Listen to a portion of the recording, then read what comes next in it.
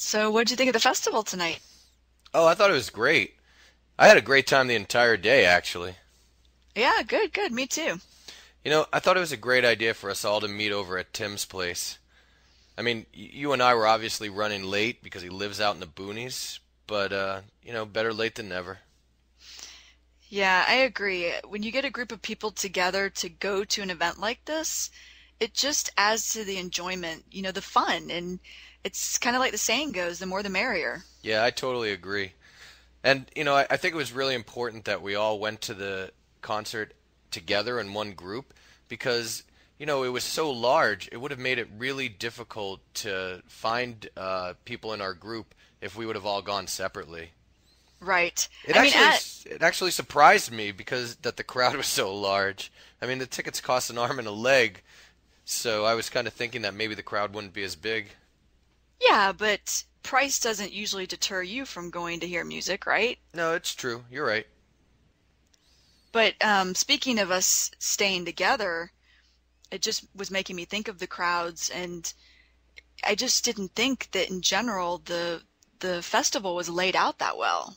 N- Well, there were four different stages. No, there were six. Oh, there were six stages?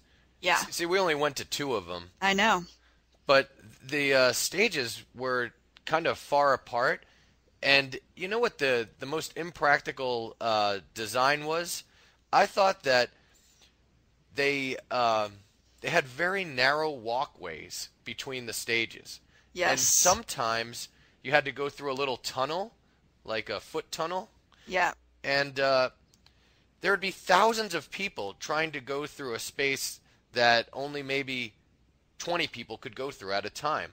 Oh yeah, the crowd would get complete, completely bottlenecked. Yeah, exactly. So trying to go from one stage to the next was just, uh, it took a lot of time and effort. Yeah, I agree. So that was one thing that was, you know, just not properly planned for on their part. No, and then there'd be all these random trails through the woods that people were trying to forge their way through. Yeah, true. You know, another thing that uh, was uh, a real hassle was trying to get a beer. Oh my God, yeah. I mean, the wait, the line was like, you know, 120 people long every time you wanted to go get a beer. Yeah. Well, first you had to stand in line just for them to check your ID and get the wristband. Yeah, That was bad enough. Oh, that was an even longer line. Yeah. Yeah. I mean, once you had the wristband, though, it, then it was battling the lines just to get a beer each time. Yeah, it was ridiculous. Yeah, and if you wanted to go get a beer while the band was playing, you basically had to decide whether you wanted to see the music Yep. or you really wanted a beer. Which was more important to you? You had to make a choice, you know? Yeah. Make a list of pros and cons. Yeah, yeah. How thirsty am I versus how much do I want to hear this music? and the lines to the bathroom were really long, also. Yeah, the lines in general were just a hassle. I have to agree. Yeah. I mean, I remember when we were leaving the event, it took us over an hour just to get out of the uh, the stadium. Oh, God. Remember, there were all these people who were starting to climb the fences Yeah. instead of going through the little uh, tunnel. I mean, Yes. and the the fence, it looked like it was going to break. I mean, it was totally an accident waiting to happen. Right. That was something I didn't understand. Like it Hardly Strictly Bluegrass. I never I didn't remember seeing fences like that.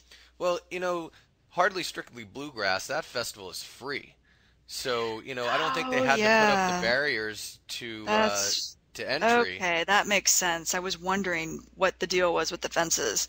Yeah. Okay. So that's why that's you know that's why you never have that problem at that festival. Right.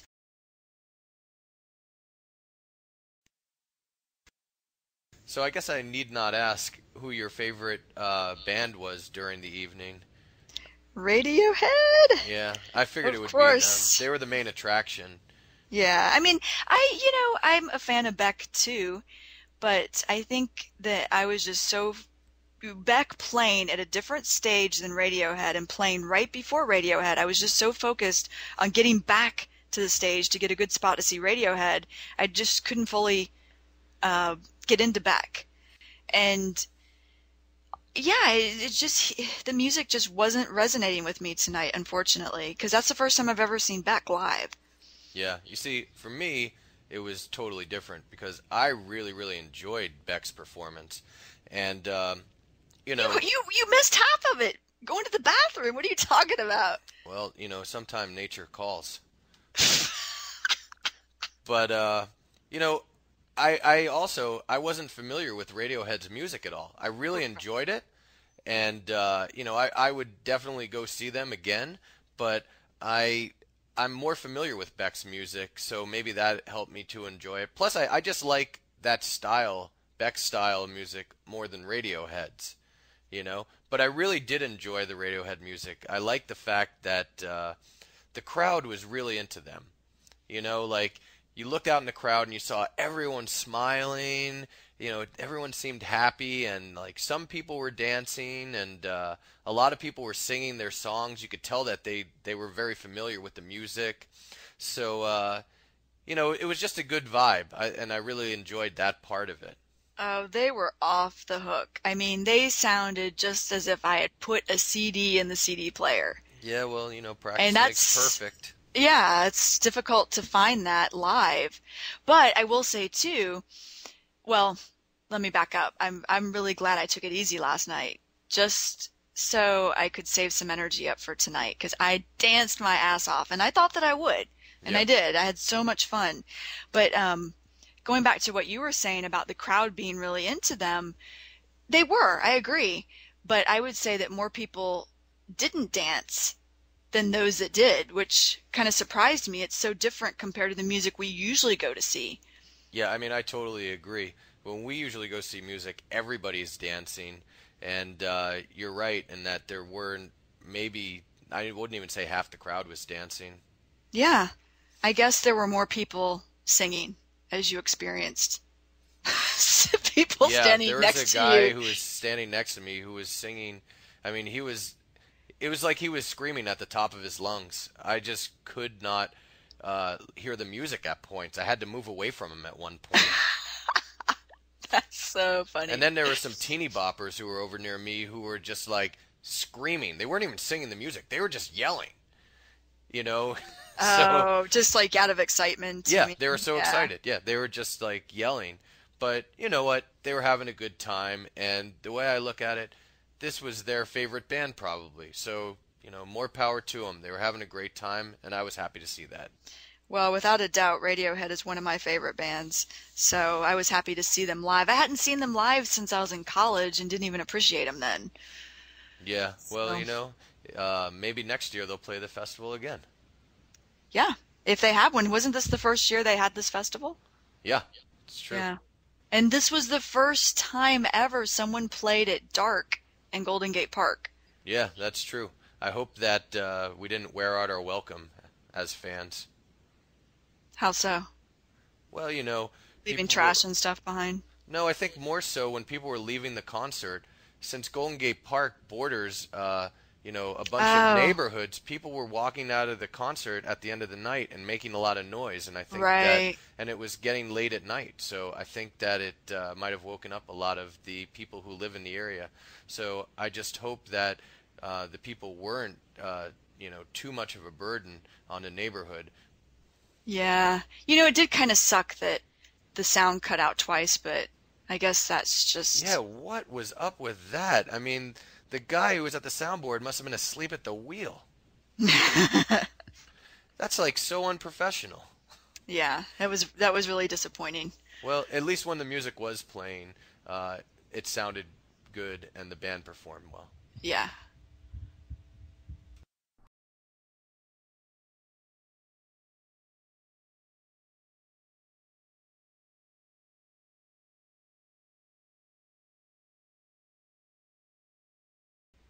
So, what did you think of the festival tonight? Oh, I thought it was great. I had a great time the entire day, actually. Yeah, good, good. Me too. You know, I thought it was a great idea for us all to meet over at Tim's place. I mean, you and I were obviously running late because he lives out in the boonies, but, uh, you know, better late than never.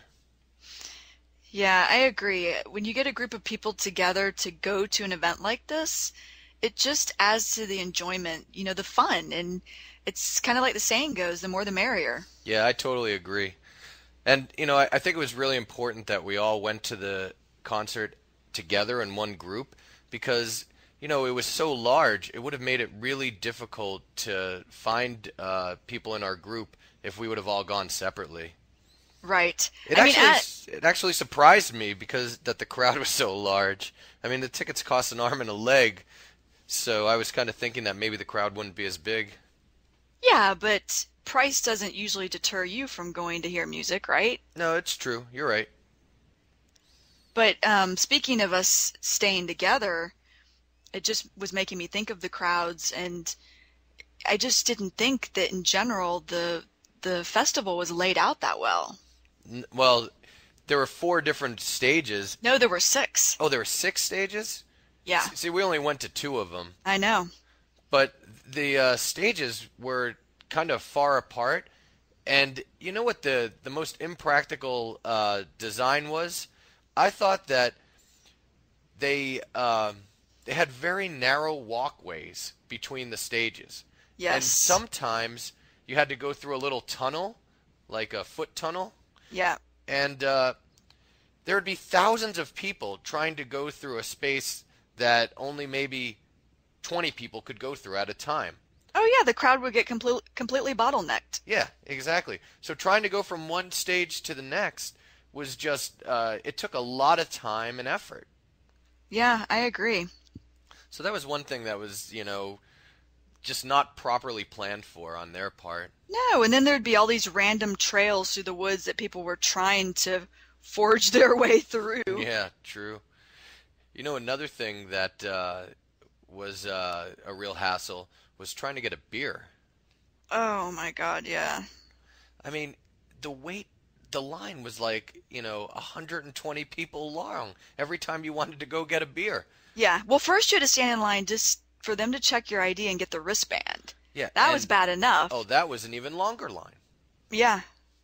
Yeah. I mean, once you had the wristband, though, it, then it was battling the lines just to get a beer each time. Yeah, it was ridiculous. Yeah, and if you wanted to go get a beer while the band was playing, you basically had to decide whether you wanted to see the music Yep. or you really wanted a beer. Which was more important to you? You had to make a choice, you know? Yeah. Make a list of pros and cons. yeah, yeah. How thirsty am I versus how much do I want to hear this music? and the lines to the bathroom were really long, also. yeah, the lines in general were just a hassle. I have to agree. Yeah. I mean, I remember when we were leaving the event, it took us over an hour just to get out of the uh, the stadium. Oh, God. Remember, there were all these people who were starting to climb the fences Yeah.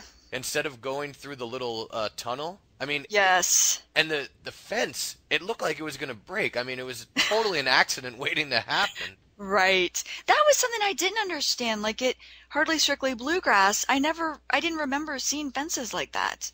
Well, you know, Hardly Strictly Bluegrass. That festival is free, so you know, I don't think they Oh, had to put up the barriers to uh, to entry. okay. That makes sense. I was wondering what the deal was with the fences. Yeah.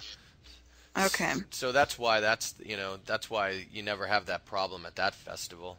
Right.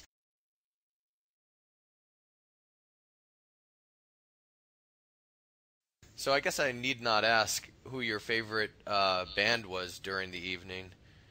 Radiohead? Yeah, I figured Of it would course. be them. They were the main attraction. Yeah. I mean, I you know, I'm a fan of Beck too, but I think that I was just so Beck playing at a different stage than Radiohead and playing right before Radiohead. I was just so focused on getting back to the stage to get a good spot to see Radiohead. I just couldn't fully uh, get into Beck. And yeah, it, it just the music just wasn't resonating with me tonight, unfortunately, because that's the first time I've ever seen Beck live. Yeah, you see, for me, it was totally different because I really, really enjoyed Beck's performance, and um, you know, You, you you missed half of it. Going to the bathroom. What are you talking about? well, you know, sometime nature calls. but uh, you know, I I also I wasn't familiar with Radiohead's music at all. I really enjoyed it, and uh, you know, I I would definitely go see them again, but I I'm more familiar with Beck's music, so maybe that helped me to enjoy it. Plus, I, I just like that style, Beck's style of music, more than Radiohead's, you know? But I really did enjoy the Radiohead music. I like the fact that uh, the crowd was really into them. You know, like you looked out in the crowd and you saw everyone smiling. You know, everyone seemed happy, and like some people were dancing, and uh, a lot of people were singing their songs. You could tell that they they were very familiar with the music. So, uh, you know, it was just a good vibe, I, and I really enjoyed that part of it. Oh, they were off the hook. I mean, they sounded just as if I had put a CD in the CD player. Yeah, well, you know, practice And makes that's- perfect. Yeah, it's difficult to find that live. But I will say too, well, let me back up. I'm I'm really glad I took it easy last night. Just so I could save some energy up for tonight because I danced my ass off and I thought that I would. And I did. I had so much fun. But um going back to what you were saying about the crowd being really into them, they were, I agree. But I would say that more people didn't dance than those that did, which kind of surprised me. It's so different compared to the music we usually go to see. Yeah, I mean, I totally agree. When we usually go see music, everybody's dancing, and uh, you're right in that there weren't maybe I wouldn't even say half the crowd was dancing. Yeah. I guess there were more people singing as you experienced. people yeah, standing there was next a guy to you. who was standing next to me who was singing. I mean, he was. It was like he was screaming at the top of his lungs. I just could not uh, hear the music at points. I had to move away from him at one point. That's so funny. And then there were some teeny boppers who were over near me who were just like screaming. They weren't even singing the music. They were just yelling. You know? so oh, just like out of excitement. I yeah, mean, they were so yeah. excited. Yeah, they were just like yelling. But you know what? They were having a good time and the way I look at it, this was their favorite band probably. So, you know, more power to them. They were having a great time and I was happy to see that. Well, without a doubt, Radiohead is one of my favorite bands. So I was happy to see them live. I hadn't seen them live since I was in college and didn't even appreciate them then. Yeah. Well, So- you know, uh, maybe next year they'll play the festival again. Yeah, if they have one. Wasn't this the first year they had this festival? Yeah. It's true. Yeah. And this was the first time ever someone played at dark in Golden Gate Park. Yeah, that's true. I hope that uh, we didn't wear out our welcome as fans. How so? Well, you know, Leaving trash were- and stuff behind. No, I think more so when people were leaving the concert, since Golden Gate Park borders, uh, you know, a bunch Oh. of neighborhoods. People were walking out of the concert at the end of the night and making a lot of noise, and I think Right. that, and it was getting late at night, so I think that it uh, might have woken up a lot of the people who live in the area. So I just hope that uh, the people weren't, uh, you know, too much of a burden on the neighborhood. Yeah. You know, it did kind of suck that the sound cut out twice, but I guess that's just. Yeah, what was up with that? I mean, the guy who was at the soundboard must have been asleep at the wheel. That's like so unprofessional. yeah. That was that was really disappointing.